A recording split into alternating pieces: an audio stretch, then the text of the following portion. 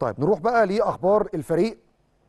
والنهاردة تدريب فريق النادي الأهلي هو أول تدريب للفريق عقب العودة من الأجازة والراحة السلبية اللي منحها مارسيل كولر. على فكرة هي مش راحة سلبية بمعنى إن هي راحة سلبية لا.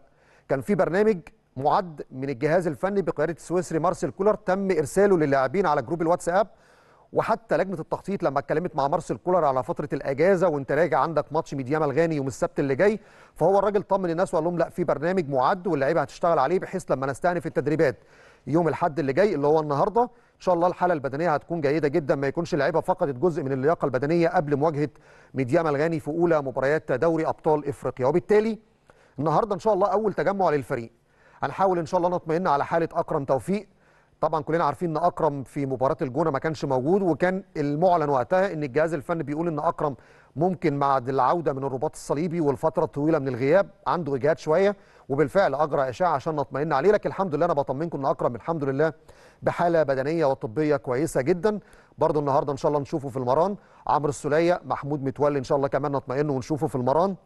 عايز أقول لكم كمان إن محمود كهربا إن شاء الله بعد فترة غياب كده من ساعة مواجهة سان داونز ما كانش موجود في مباريات الأهلي المحلية. عارفين إن في قرار بإيقافه ست مباريات في الدوري العام عدى منهم خمسة. فباقي مباراة لكن المباراة الإفريقية كلها بيشارك فيها ما عندوش أي مشكلة. فبإذن الله كهربا يكون عنصر أساسي وعنصر مهم جدا في تشكيلة مارسيل كولر أمام ميدياما الغاني يوم السبت المقبل على استاد السلام. المباراة هتتلعب إن شاء الله الساعة 9 مساء بتوقيت القاهرة. كلنا كمان عارفين الشناوي مع منتخبنا الوطني الأول. آه في كمان استدعاء لحمزة علاء في المنتخب الأولمبي. في لعيبة منضمة في منتخب الشباب. في لعيبة منضمة في المنتخب الأولمبي المنتخب الأول. آه بيرسي تاو مع جنوب إفريقيا. أليو ديانج كان موجود مع منتخب مالي. ولاعيبه الأهلي الدوليين كلهم بيشاركوا كلهم موجودين. فالنهاردة يعني أعتقد يعني المران ممكن يشهد تصعيد عدد كبير جدا من لاعبي قطاع الناشئين.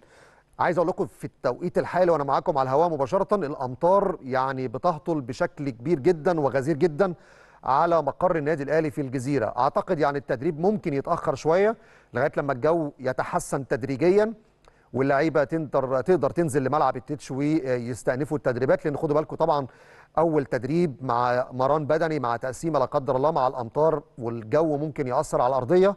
فالأفضل إن الفريق يستنى شوية ويتمهل لغاية لما الجو يهدى وهطول الأمطار يعني يقل شوية عشان يقدر كولر ينفذ أول تدريب ليه مع النادي الأهلي. دي الأجواء لغاية لما نشوف الصورة والأجواء من ملعب التتش خلال الدقائق اللي جاية وإحنا على مدار فقرات البرنامج بإذن الله هنحاول نطمنكم قدر الإمكان صوت وصورة على كل الأخبار.